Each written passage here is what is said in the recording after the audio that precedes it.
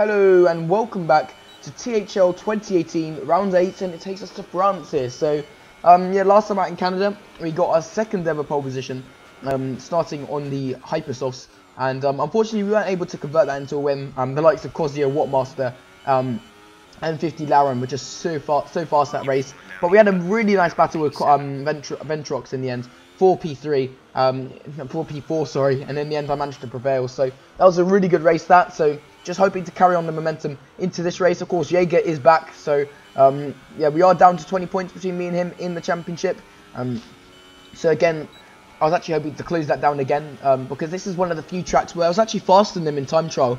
I did a 29.7 um, leading up to AOR and I was actually able to slash another tenth of that um, coming into this race, um, making my time actually nearly three tenths faster than Jaeger. Um, of course, Jaeger, a real, real race specialist compared to Quali, so I was almost hoping to really qualify ahead of him um, for once and then um, almost just sort of maintain that uh, in the race. But you can see, it's not the best lap on the Super Softs. Um, my banker on the Ultra Softs was pretty slow, um, so I could just improve it on the Super Softs because unlike AOR, I'm actually pretty confident I can qualify in the top 10, so I don't really want to be starting on the Ultra Softs because that's really committing me to a two-stop. And I think that's what the likes of Ping High is doing. I mean, that's another thing. Ping High back after a few month break. Um, after I think um, he injured his leg or something. So it's really nice to see him back as well. Um, and all the TGL guys um, coming into this league. So it's going to be much more competitive. But we're going to cross the line. We actually set the same time as we set on the Ultra Softs last week in AOR. So a much better lap. Um, it's still only good enough to get us ninth. But once again, we get beaten by Jaeger by a shocking two frames. So the amount of times he's beaten us by 300 of a second is, I think, three or four times now. It's beginning to get a bit on my nerves. But you can see Kozia, a 29.6, which is what I did in time trial on the Super. So this guy, absolute league of his own right now after winning, of course. Um, actually, I, I, don't, it, I know he won in um, Spain. I actually didn't even win in Spain, so I don't actually think he's got a win all season. Um, but he's been second a lot of times now, so he's definitely threatening my position for P2 in the championship. As um, lights out and away we go. We actually don't get as bad a start as we normally do, but we actually are going to get a bit held up behind Lucario Freak, and that's going to allow Wattmaster to get a mad start. He gains a few positions, so does Sanyut, as we're going to try to go up the inside of Wattmaster. You can see he's actually we're to hold it around the outside, and there goes Lucario Freak. He completely plows into guys who slowed down, and there's a big pile up, and we now find ourselves three positions up, and Jaeger now finds himself P3 from um, P8 on the grid. So a brilliant start from Jaeger. And it was a brilliant start from me as well because of that, all that pile-up, which really involved about five or so cars. Um, I am actually a few positions behind my rival, so I want to quickly get past these guys if I want any chance of fighting for Jaeger um, in the championship. Of course, last season in T THL, I was actually sort of in the championship fight up until about mid-season, so I really want to hopefully sustain it a bit longer. Um, I probably won't be able to beat him in the end because Jaeger is just that fast. So um, I have quickly, I have actually recently received the wheel, um, as some of you may know already, and I, I plan to practice on that over the holidays. And hopefully by the time I get back um, in January, I will be on the wheel, and um, I should be able to bring the fight to Jaeger again because I haven't been properly able to challenge him since 2017. But you can see Marcus's, um, we are able to get the position of him. But I think he tried to get us back into the last corner. He completely plows us. And that's the third incident we've had with him in three races. Of course, um, he took accidentally took us out into turn one in Monaco. And he also held us up in Canada qualifying. So it's beginning to um, get a bit frustrating between me and him. But um, again, I know he didn't do it intentionally. As um, yeah, it really put us off our rhythm though. We're beginning to drop off Sanyuts. Um, you see we've got the squad behind us. We've got, um, I think, three people behind us. As you can see, that's actually Cryptox upper inside. As we're going to actually get, um, you're going to try to defend the position. We actually get tagged again by Ventrox. And we then get two positions, um, three positions even. And Pixelmeister is going to get us as well. We're down three positions. Cryptox is down a position. I think Ventrox tagged us there, so I was a bit pissed as well. Um, it's the second time I've been tagged. And it just really compounds the gap between me and Jaeger. Um, considering this is one of the tracks I want to bring the fight trim on, and again we're going to get a penalty, and this was not going well for me now.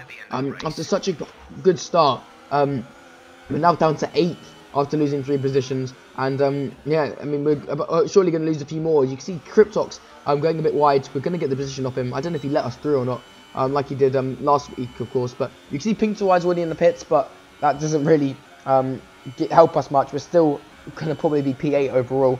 Which is quite disappointing. And you see Pixelmeister just disappearing up the road, already chasing off in search of Shanyets. But by this point, my tyres were literally dying. You can see my deltas two and a half seconds slower um, than my PB lap, and I don't know what it is, but I'm just not able to sustain the tyres in this game. And my first stints are really suffering as a result. Um, I think I did an extra lap in qualifying on these tyres, but still, they're completely dead already, and I'm losing so much time. It's ridiculous. As we're now trying to um, Cryptox actually gets us on his softs and he completely disappears up the road. Ping is now going to get us. He's all pit stop ahead of us and you can see how much time we're losing. We're losing two, two three seconds a lap um, just because of the tyres. And I, I don't know how Jaeger is able to sustain such good pace, but um, I, I don't know if it's us on the throttle or what, but we're just not good um, towards the end of the stint. And we're actually going to double stack now as Jaeger um, on the pad as well. We're both going to dive in early. Um, and we actually held a bit. We're actually going to get a four second stop, even though I was about 10 seconds behind him. So yeah, the double stack really costly. Um, and we're going to come out um, maybe side by side with Marcus, but um, we could even be behind him as a result of the double stack. Um, but yeah, still, it was not going well at this point. Um, coming out in what will be P9 now, as you can see Marcus is going to try to get us on the exit. It's going to be side by side. You can see that's actually Wattmaster, um, I think, behind him as well. And Wattmaster is one of the fastest guys here. So, um, yeah, I could easily find myself outside the points in a league which I should consistently be getting podiums on. Yes, albeit there are um, TGL guys here, and Kozzy is pretty untouchable, but I, I, I, should still be top 5 quite comfortably. Um, so the fact that I'm battling now for P10 um, with these guys is quite um, disconcerting. Um, I don't think Wattmaster's having the greatest races here, considering he is probably faster um, than most of the people here.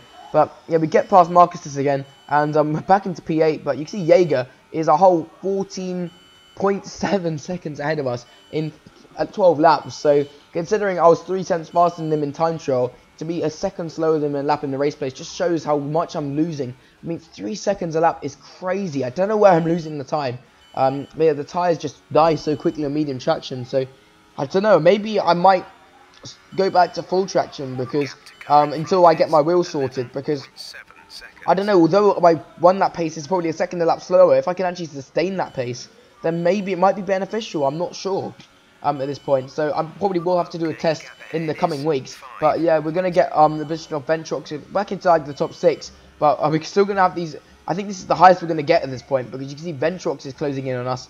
Um, and you can see up ahead, we're actually not a million miles away from the from second, third, and fourth. Um, as you can see, we're actually um, overtaking a lap car, and Ventrox is really close to us now.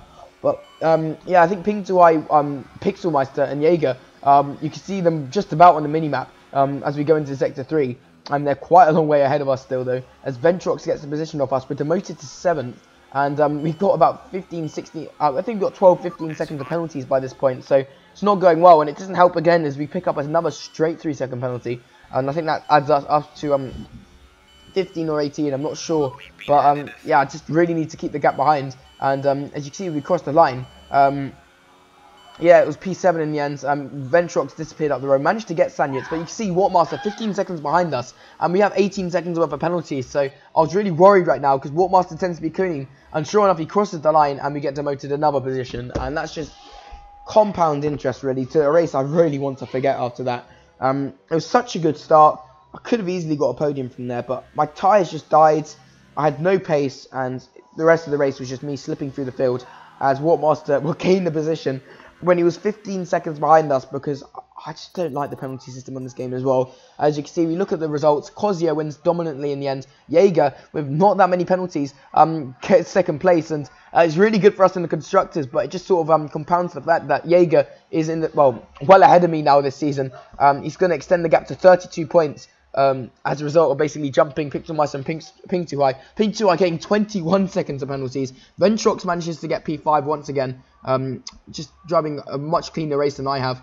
Um, yeah, very disappointing there. But um, as we head on to the actual standings, you can see Kozia actually jumps us quite considerably after taking a really nice win in the end. Um, he was by far the fastest guy all, um, all all weekends. But you can see Jaeger picking out that P2. He still retains a 20 point lead in the championship after a really good comeback drive, to be honest, from P8 on the grid. Um, and you can see the likes of. Um, there's actually a really tight midfield. But as we go on to the constructors, McLaren are closing us in slowly, um, bit by bit. Um, but we still have quite a comfortable lead for the time being. Red Bull P3, um, Renault P4. But that's going to be it. So see you next time. Hopefully I can get a better race in Austria.